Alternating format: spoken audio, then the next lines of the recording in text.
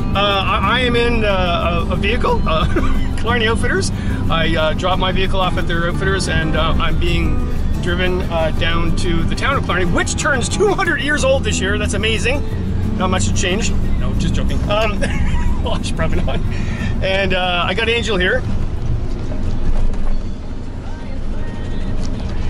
Angel's very excited to go with me. and uh, um, yeah, and uh, so the idea is I'm being uh, driven down to the town and they're going to boat me um, across Georgian Bay up to Baie Fine, drop me off there, going to camp there the first night, and then I'm going to paddle uh, through uh, uh, Park and end at George Lake, and it's going to be awesome. And my shuttle driver is, uh, what was your name again? Rachel. Rachel. And Rachel is from Toronto, and she lost her job because of COVID, and now she's a guide in Killarney Park.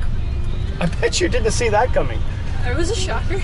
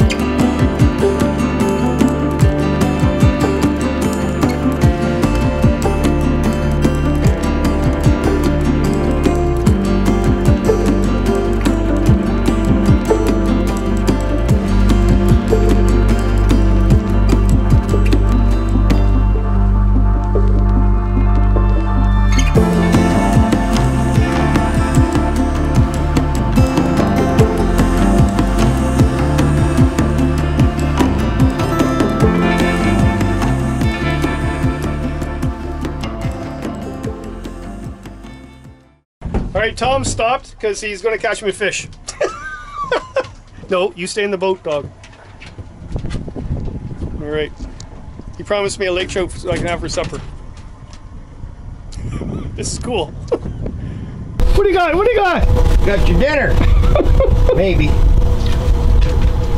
Okay, we had a lake trout on, but we lost it. I swear. There's your supper, Keegan.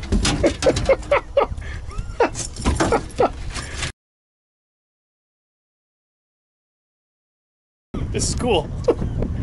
it's a great way to explore the park until you boat it in, get a lake trip to have for dinner, and then head right across the park.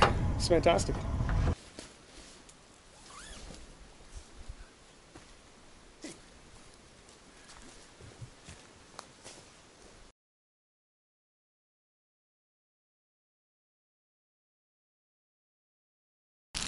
Angel.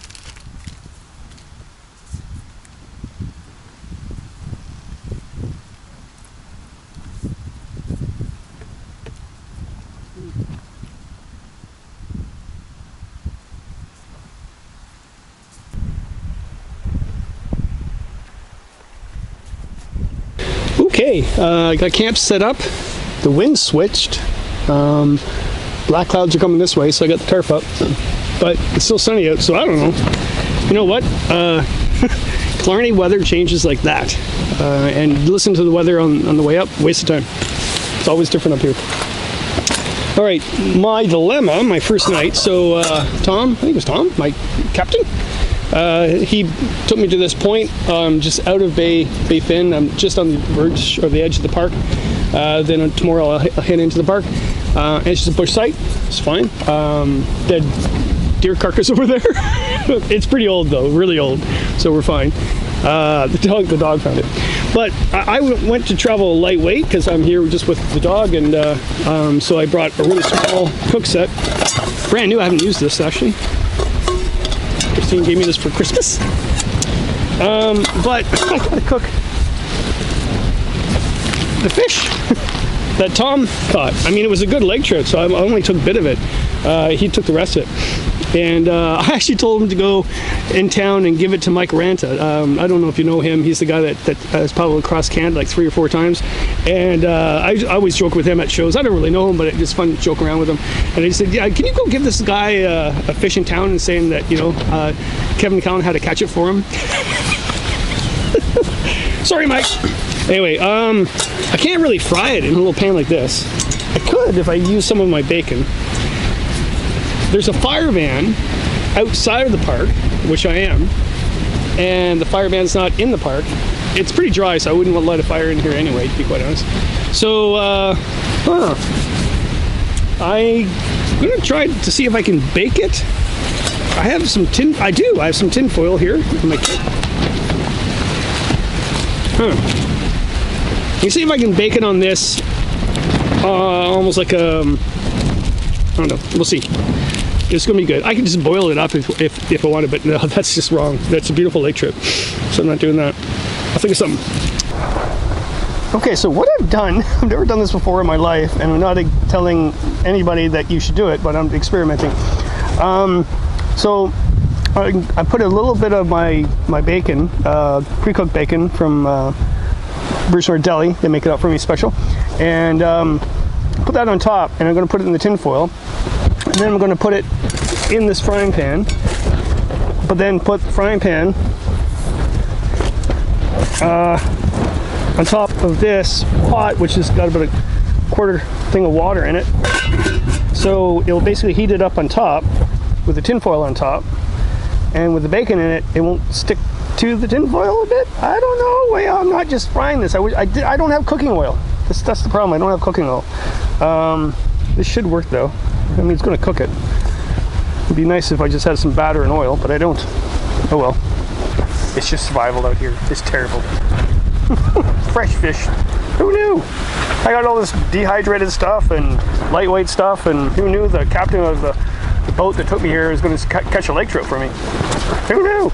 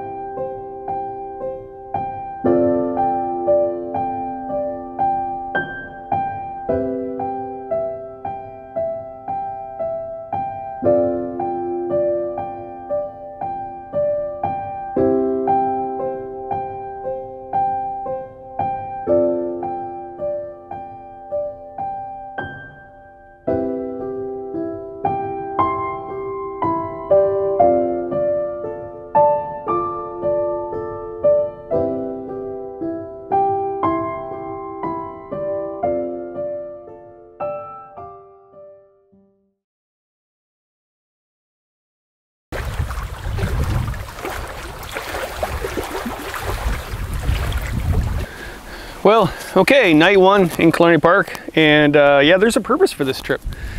Uh, it's really cool, to be quite honest. Um, my first book. I was 27 years old, and uh, quit my job, moved up here, and uh, it was funny. I had some nonprofit group um, that was going to give me some money to work on the project, and I moved up here, and actually the park. Um, what was his name? The superintendent at the time great guy. He uh, he took me in and, and let me stay at, at, their at the barracks at the park while I was working on it, on on the, the history of the park and stuff like that. And um, yeah, I, me I remember uh, being in the room one day, and one of the people from that nonprofit group came in and said, "Yeah, some young guy, some young kid is." Uh, is coming here to write a book and we're going to help him out but really like I, I can't see a kid that of that age being able to write a book he had a good point um, at the time, but I turned around and said, "That's me," and I said, "I don't want your money. I'll do this on my own." And I did. I lived up here for a year. I was like 25 and 27, I came out with my very first book. And John Denison at Boston Mills, like he had so much faith in me. Loved the guy because really, like, I was just a kid. I wrote yeah a bunch of nature columns with a ferret, whatever. But yeah, my first book. And um, man, that was 30 years ago. So the town of Killarney is 200 years old this year. And I forgot all about that because the whole COVID thing. And I was like, no, you know what? I got to go back. I got to do a trip. I got to celebrate the town of Killarney, visit the people that are still alive uh, that helped me out during the time, and uh, remember the people that, that aren't around anymore and still thank them for all the help. I mean, they all took me in uh, and helped me write that uh, that book. And uh, yeah, I paddled around and be coming back ever since. I'm addicted to this place. It's beautiful.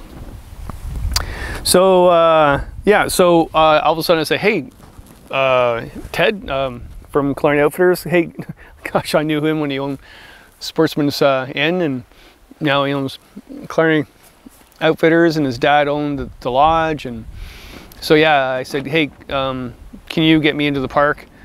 And he made it all happen. So uh, they boated me in today, and I'm heading through the central of the park just to you know think back and celebrate the whole idea of of what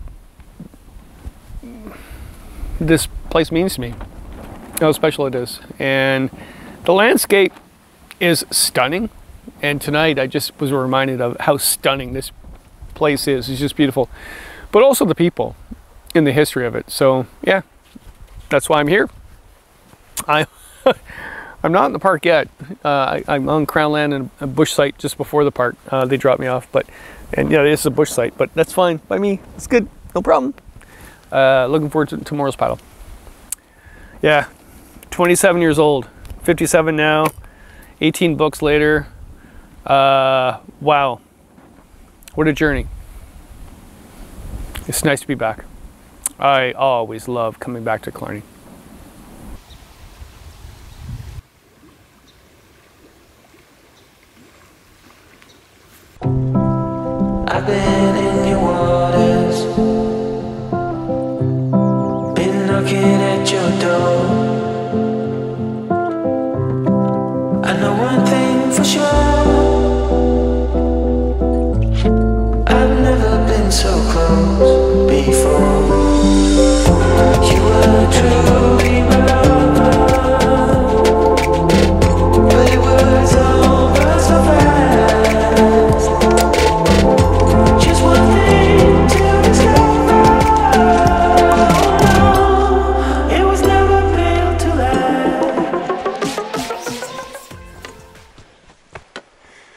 Portaging into Artist Lake from the pool.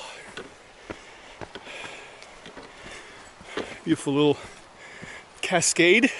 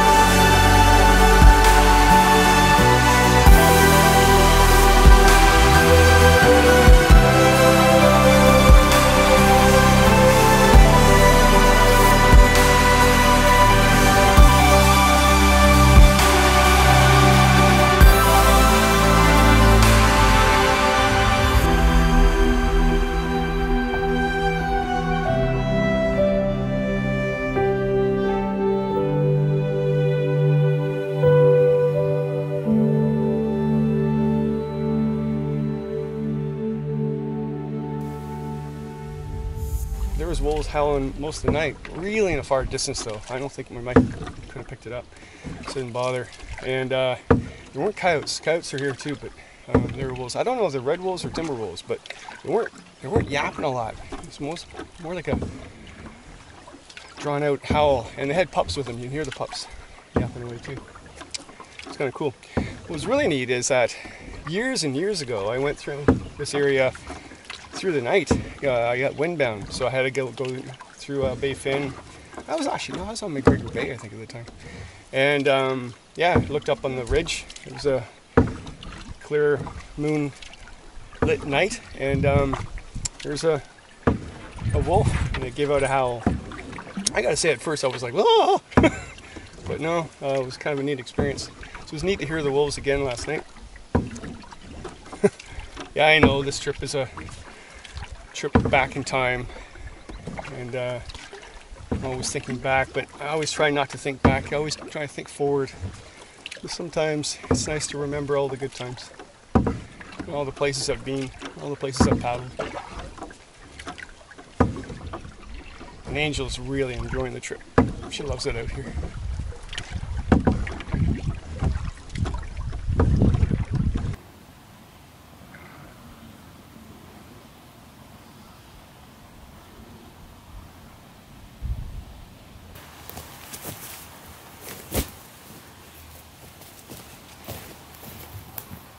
Uh, yeah, so I went from Baie Fine, um, the pool, uh, went into OSA Lake, and then now I'm camping at Clarn Lake right now tonight. And I actually got here like 2.30ish, so I, mean, I don't carry uh, a watch. I don't trip with a watch, but I'm pretty sure I left camp pretty early this morning. I made good time. Um, there are some steep portages, by the way. Uh, I forgot about those. And also I forgot that I'm getting old. Um, yeah, my back went out on the second portage and uh, that's not good for me. Uh, my back goes out now and then. It went out last year in the springtime for a month, and I couldn't go do anything. I was feeling like mm, not too good before I left, but hey, I can do it. I can do it, and um, that was stupid because uh, I'm on my own, right? So. Uh, I do have medication to uh, to reduce the the swelling and the pain. So I got that. My doctor gave me all that, whatever, in case it happens again. So I'm doing all that. Uh, drinking some tea. So I'll be able to get out tomorrow. Uh, it's very frustrating because I've got two more trips after this. Uh, I got an eight day in uh, Temagami, and then I got a six day in Philip Edward Island or the French River. I'm not sure. I might have changed all that and just paddle instead of portage. I don't know. I don't know. Anyway, that's not why I wanted to chit chat. Chat. Um, two things. Uh, the history stuff. So the town of Killarney, 200 years. Um, really cool story. So when I was here, uh, work on that book. Right here. Oh, right here. When I was working on that book um, 30 years ago, um, I was interviewing a bunch of people in town, and I was getting, you know, the typical normal history you can get at the library. And I remember I was uh, paddling uh, along Killarney. Um, it was probably late October, early November, and it was a snowstorm.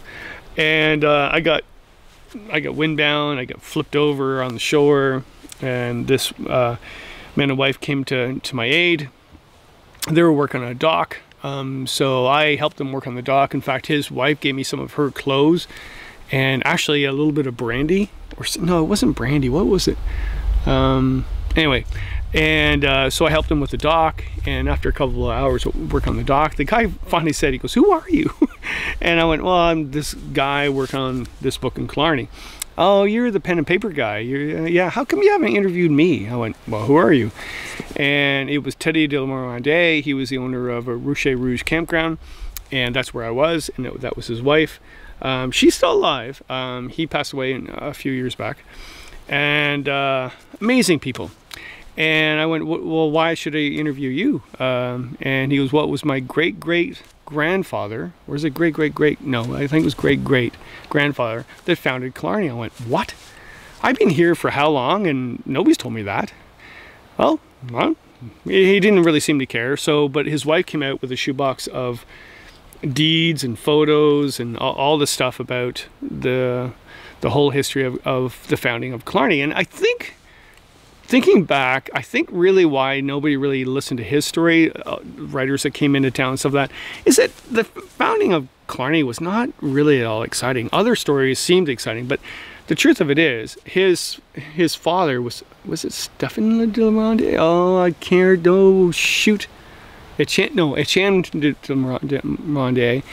Um, he was a trader and he decided to put his trade place a little bit further in um, where Killarney is now uh, because the First Nations people would be closer to him. That's all. And I, am pronouncing it wrong, but it wasn't called Killarney at the time. It was Shebahonaning. Um, sorry, I'm pronouncing that wrong. But, um, and they eventually changed it Killarney uh, later on. That's the story. And I wouldn't I maybe would have found that out later on, but if I didn't flip and dump in a, in a snowstorm along the shoreline and help that guy build a dock and his wife dress me in his clothing, and um, uh, Sherry, that's yeah, it was Sherry she gave me, and uh, I probably would never have known that for quite some time. So when you're doing research, it's in interesting talking to locals. It takes a lot of time to get the real truth. To be quite honest, there's a lot of people that just spin a tale but but um, yeah, it was really great to uh, to interview them. The park itself. So the history of the park. Um, so OSA Lake. So I I paddled through OSA Lake today. Gorgeous, absolutely gorgeous. It's kind of a toss between what's what's nicer, OSA or or uh, Killarney Lake. Killarney Lake, I, I really like, but it, it can get busy and uh, uh, well, so so OSA Lake, but OSA Lake, man, there's a lot of islands that got burned there the, the last few years, and old old um, burns too. But lately, I just I don't know who did it, but someone let their fire go on the one island where the old cabin is, and they caught it in time. But holy crap, man! Um, I'm not having a fire tonight. Actually, there's a there's no fire ban in the park right now, but I'm not having a fire. I don't need one. Um, okay, so the history of Killarney Park. So group of seven. Uh, they knew the area really well, uh, and A.Y. Jackson um, really loved this area. So in 1932, I believe, I hope I'm right with that one, he came up to um, go and, and, paint on what's called Trout Lake at the time, uh, which actually was OSA Lake now.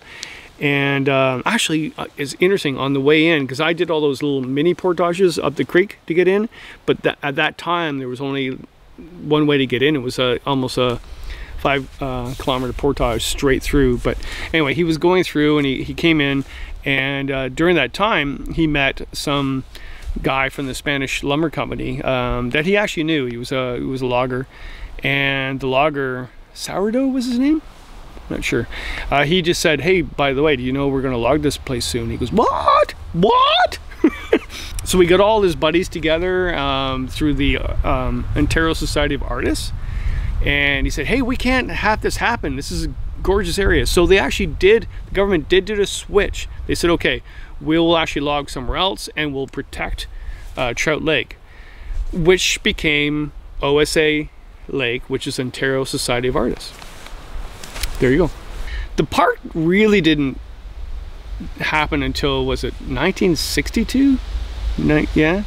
Uh, they protected that lake, but they didn't expand the park until later on, and had a management plan for uh, until um, you know after that. And then they expanded uh, the park in the north and through Panache Lake and all that that area. Um, uh, wasn't that long ago. I remember my buddy Andy and I volunteered to mark all those portages or find all the portages. So I'm going off in great tangent. Angel is exhausted.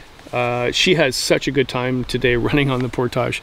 Uh, uh, yeah, the whole thing about having a dog too, like I had the leash, I had the dog whistle, and um, I had a little bell on her, uh, but I didn't meet anybody. So she was able to run the portages and she was fine. Okay, I'm going off in tangent. That's it. That's all I got. I gotta have a lot of tea. Uh, I drank a lot of water today, but yeah, I gotta have tea just to, whew, I'm hurting. But I love it here. It's amazing. Oh yeah, one more thing. I, yeah, I know I'm going off in tangent, but this is important. So I, I, I brought this book with me. Um, uh, not really for sort of like, wow, this is really cool. I have my book that, yeah. It's it's this particular book, the story. Oh my lord. Okay, so the the book came out uh, and it was published, um, you know, 30 years ago.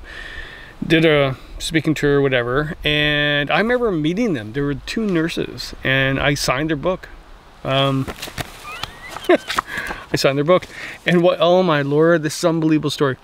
Uh, so basically, they went into Killarney, and the one nurse did she break her wrist or leg? I'm, I think it was her leg. So her her friend, the other nurse, um, used this to hold the break together. They went out to uh, uh, the pool, um, got a boat to take them to Willisville or Whitefish. I'm not sure. I think it was Willisville. And there was a doctor there, and he fixed the leg. The doctors, this is how long ago this was. The doctor wrote me a letter, a letter. I, there was nothing like Google or email back then, and said, "Yeah, this is what happened. Um, do you want your your book back?" um, yeah. So this is actually the copy that was used to hold her broken leg or arm or whatever. I can't remember. I think it was her leg uh, together. So I thought it would be really cool to bring this out with me. That's hilarious. You can't make that stuff up, man. what a crazy life. Wow.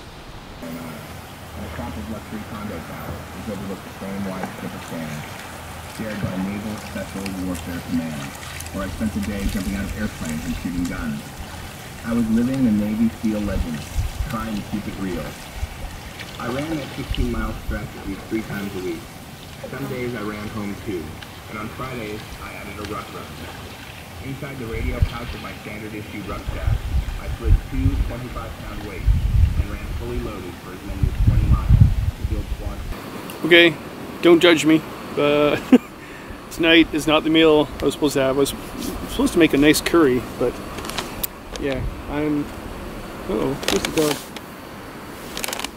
Oh, oh, you're right there. Dog's right behind me. um, I'm making this, and uh, yeah, it's not too exciting. Well, I don't know. It might taste really good. I am going to spice it up with. I have leftover fresh tomato and ah, some pepperoni sticks to put in there. I'm just going to get some protein nutrients in there and then take it easy tonight. And uh, yeah, my back's killing me. Darn, I hate saying that. It's like a, an old man. Oh, oh. Actually, I've had a bad back since my 40s. and I'm going to be 57 soon, so yeah, it's nothing new. Just very aggravating.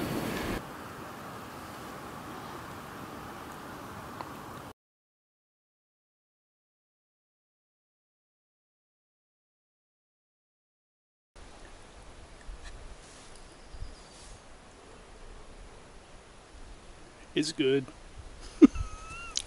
I don't know, it's because it's a long day and it's easy to make. It's good. It's really good. Ah, hot though. Hot, hot.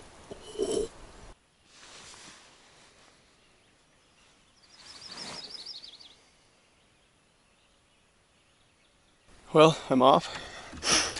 A little later than I thought. Actually, well, it's pretty early, but still, but it's getting hot already. Wow. Uh, probably no fancy stuff on the way out with the camera. So my back is really bad. And uh, I'm just worried about getting out. I think the paddling would be fine, just the portaging. Um, yeah. I've got some bad luck. Oh, I really wanted to enjoy this trip. Well, I did, but I'm not now. It was a bad night last night. I'm glad I brought those meds the doctor gave me from when my back went out before. If you have a bad back, you know what I'm going through right now. Whew, okay. Look at the scenery though. Look at this.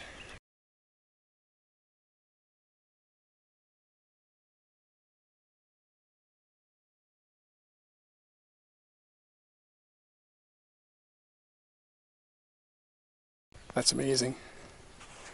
I gotta come back real soon. Real soon.